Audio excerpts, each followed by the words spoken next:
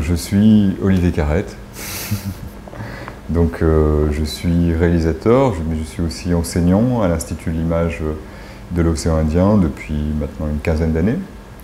Voilà, donc je, réalise des films d'animation. J'ai réalisé euh, deux films, euh, Molman, le guerrier du repos et The Nuclear Family, qui, sont, qui ont été coproduits par Canal+, et diffusés euh, par Canal+, dans les programmes L'œil de lynx, Le Madère, Surprise. Et je suis le réalisateur d'un film qui, sort très bientôt. Alors l'histoire du Mafaté, ben, elle commence il y a hum, trois ans. Donc j'ai bénéficié d'un dispositif qui s'appelle le GREC, qui est une résidence d'écriture en Corse.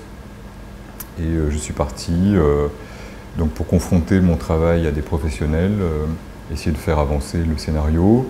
Et c'est là que j'ai rencontré mes producteurs qui ont, décidé, qui ont été séduits par le projet et puis qui ont décidé de me suivre. Donc je suis rentré et, et, la, production a pu, se mettre en place. À la bas l'église aussi. Comment ça à l'église Mais tout le monde arrive dans le PC.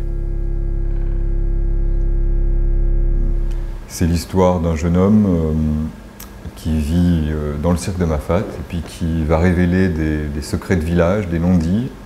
Va être chassé de son cirque et euh, va errer un petit peu sur les, côtes dans la Réunion contemporaine et puis être confronté au changement du, monde, voilà, au, monde contemporain. C'est pas forcément le lieu qui m'inspire, enfin l'histoire, c'est l'histoire du lieu.